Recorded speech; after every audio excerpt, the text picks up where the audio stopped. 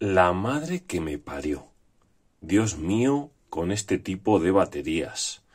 No os podéis imaginar la de ellas que caen. Empezamos, dentro intro.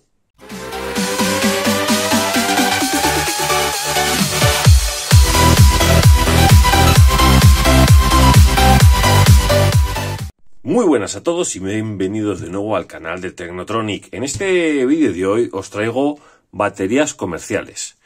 Bueno, baterías comerciales, lo que les suelo llamar yo, eh, vienen siendo este tipo de baterías que tenemos aquí, que vamos a ir viendo poco a poco con detalle. ¿De acuerdo? Eh, son esas baterías que nos traen sobre todo los patinetes eléctricos eh, de gama media baja, más o menos en los cuales pues no podemos esperar mucha batería por el precio que nos traen. Os voy a poner unos ejemplos antes de entrar en materia de los defectos que nos traen estas baterías, ¿no? Por ejemplo, eh, yo me pongo a mirar, eh, por ejemplo, en una plataforma muy conocida que todos conocemos, en Amazon. En Amazon, mm, ¿qué podemos esperar eh, que nos traiga un, por ejemplo, un Smart Giro Speedway que nos va a costar 700 euros. 700 euros, por ejemplo, nos trae una batería de 48 voltios y 20 amperios y, nos venden el patinete completo por 700 euros. Cuando una batería de esa capacidad, por ejemplo, nos puede llegar a costar una batería buena, decente, nos puede llegar a costar 500 o 600 euros con celdas y un BMS en condiciones. ¿Qué nos podemos esperar de, por ejemplo, un Z-Well E9 que vale 330 euros, que suelen llevar unas baterías unas 10 S3P, ¿qué nos podemos esperar que valga la batería de un patinete que cuesta 330 euros? Pues para los chinos, yo creo que probablemente les valga unos 100 euros una batería o incluso menos. Les meten unas celdas de bajísima, bajísima calidad.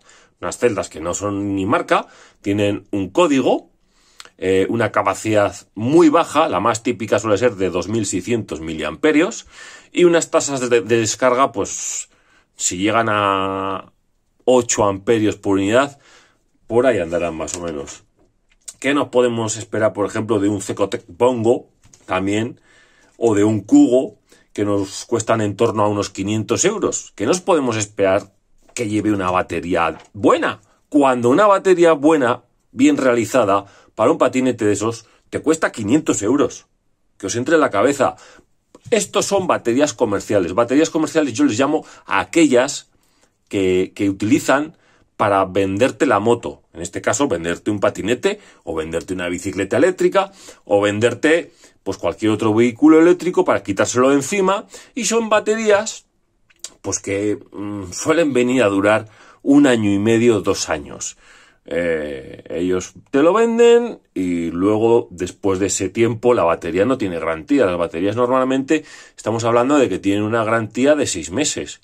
No es como el patinete, por ejemplo, la electrónica te pueden dar dos años de garantía o incluso tres, ¿de acuerdo? Vamos a seguir hablando de los patinetes, porque esos me los he encontrado por Amazon, pero por ejemplo por AliExpress me encuentro, por ejemplo, una marca que se llama Lafly, la OTI y Scooter, eh, que son patinetes que valen 1500 eurazos y también te meten baterías comerciales de estas. Porque esos patinetes que son tan gordotes, que tienen eh, 3000 vatios de potencia los motores, eh, 3000 vatios de potencia.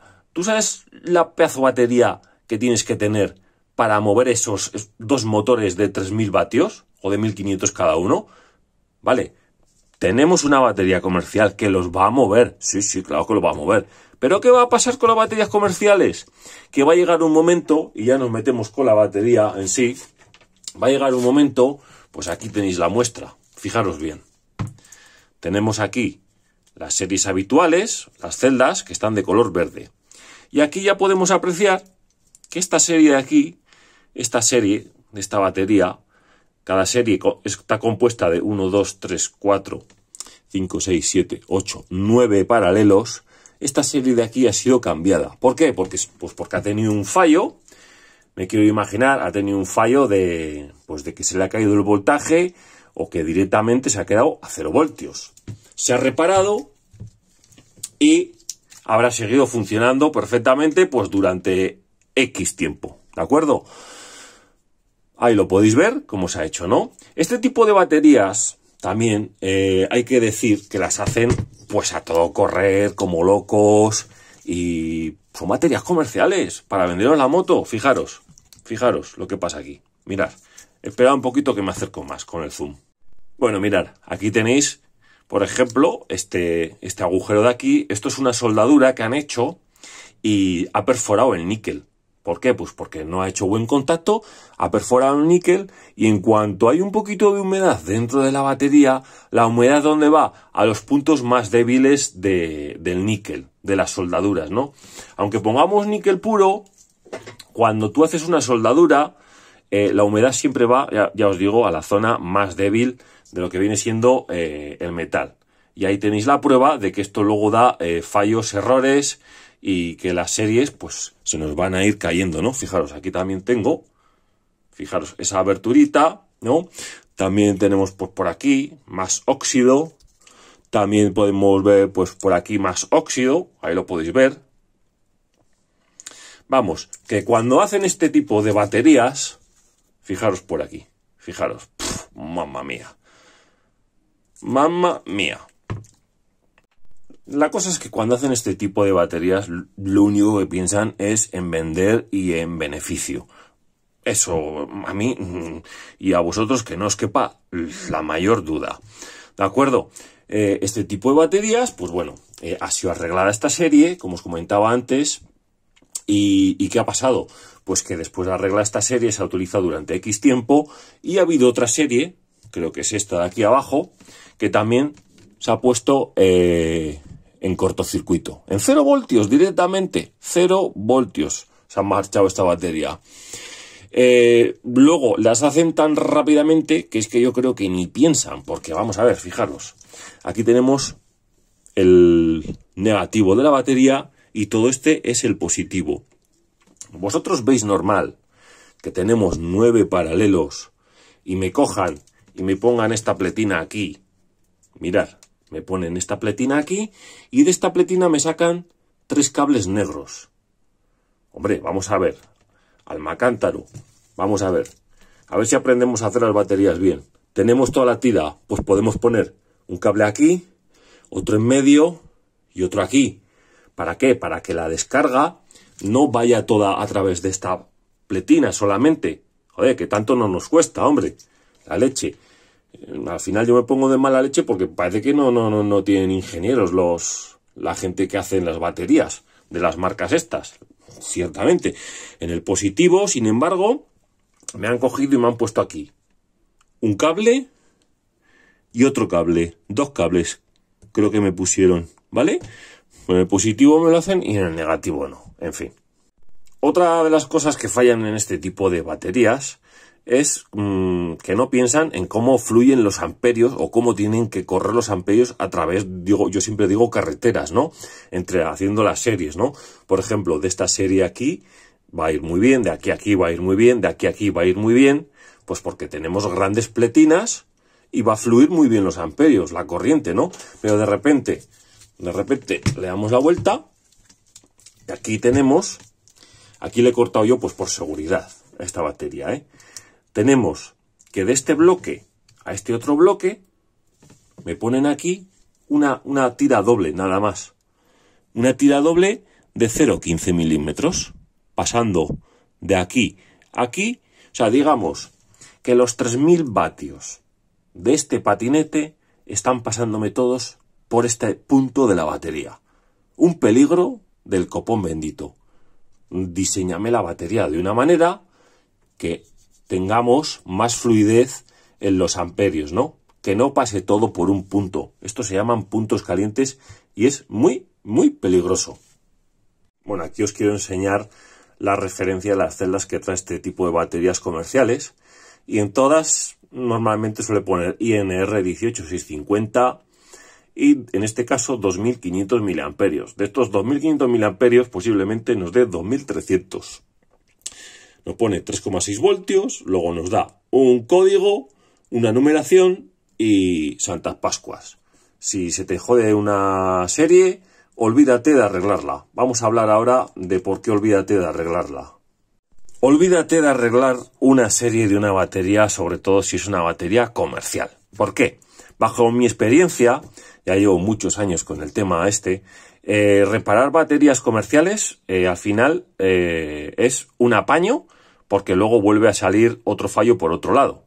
en este caso se arregló toda esta serie, he estado mirando y son celdas Samsung 29E, la verdad que dan mil vueltas a las celdas comerciales, que son estas verdes que os acabo de enseñar.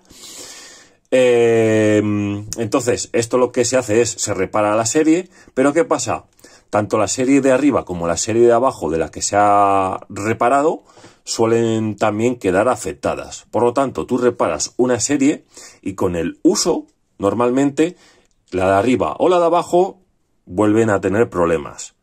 Y si tú arreglas otra vez otra serie, la de arriba o la de abajo, vuelve a salir otra con problemas. La resistencia caen muy rápido de estas celdas comerciales, caen rapidísimo, caen todas en cascada.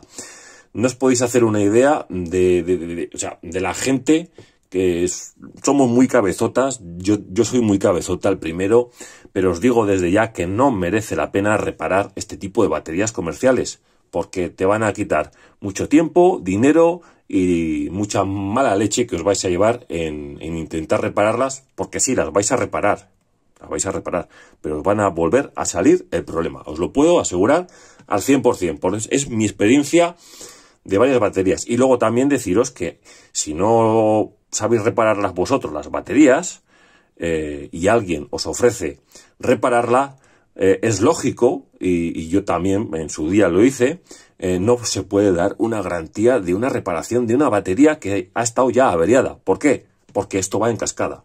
Es digamos que la batería ha tenido un virus y ese virus ha afectado a una serie, pero ha salpicado a las series de al lado. Tú arreglas, pero las series de al lado, digamos que la batería ya está salpicada por el virus de, pues de que se ha venido abajo una serie y las de al lado están ya afectadas. Por lo tanto, va a caer, va, va a caer, sí o sí. Bueno, mm, otro punto súper importante de las baterías comerciales, ni qué decir, es los BMS que no traen. Unos BMS de estos plateados que son muy malos, también dan muchísimos problemas. Por eso siempre recomiendo, cuando tú tienes una batería comercial, lo primero que has de hacer es cambiar el BMS de estos maluchos. ¿Por qué? Porque aunque sea una batería comercial, si es una batería comercial y es nueva, le, le podemos poner un BMS DALI de los rojos por lo menos tenemos un, BMS que nos va a gestionar bien la batería, porque en más de una ocasión me he encontrado que por culpa de que el BMS se ha fastidiado, a los pocos meses de, uso de, la batería, por ejemplo, imagínate que te compras un patinete eh, de 700 euros eh, con batería comercial y a los 7-8 meses, por culpa del BMS, a mucha gente le ha pasado, nos encontramos que por culpa del BMS que nos ha gestionado mal la batería, pues una de las series se nos viene abajo y a tomar por zasca. No era culpa de las celdas, era culpa del BMS que se ha venido abajo, ha tenido un problema dentro electrónico y nos ha fastidiado la batería. ¿Qué pasa? Que cuando vamos a pedir una batería en condiciones eh, con celdas originales, con un BMS DALI y bien instalado, pues nos encontramos con que el precio de la batería, como suelen decir, vale más el collar que el perro. ¿De acuerdo? Pero es totalmente normal. Porque, por ejemplo, para una batería comercial de estas, una celda de estas, pues imaginaros que a los chinos les cuesta un euro. Un BMS de estos les cuesta a ellos 5 euros. Mientras que un Dalí te cuesta cuatro veces más. Lo mismo que las celdas.